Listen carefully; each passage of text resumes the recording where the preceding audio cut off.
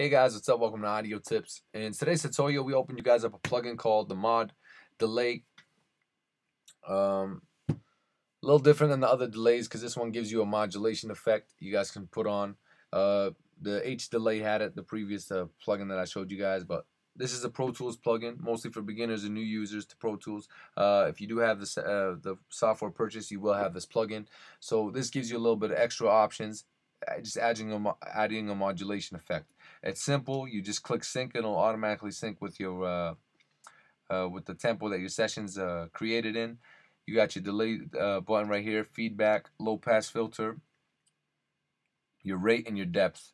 Uh, this will this will determine how much modulation you want inside your uh, um, effect, your delay effect.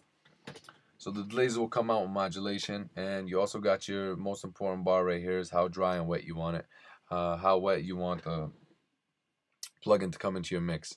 Uh, guys, the best way to learn is just open it up on a plugin, uh, fool, uh, sorry, a vocal, fool around with it, and see what kind of uh, effects it gives you. And hopefully, you guys will find the best effects, and you guys will uh, come up with something really, really cool. But for right now, this is it. Just wanted to show you guys a little overview, talk to you guys a bit about it, tell you guys, uh, tell you guys a little bit more about it. For right now, that's that's basically it. Thank you guys for watching. Hope you guys enjoyed. And if you guys need uh, to ask me any further questions, please do. I'd love to help you guys out. Again, thank you guys for watching so much, and please subscribe.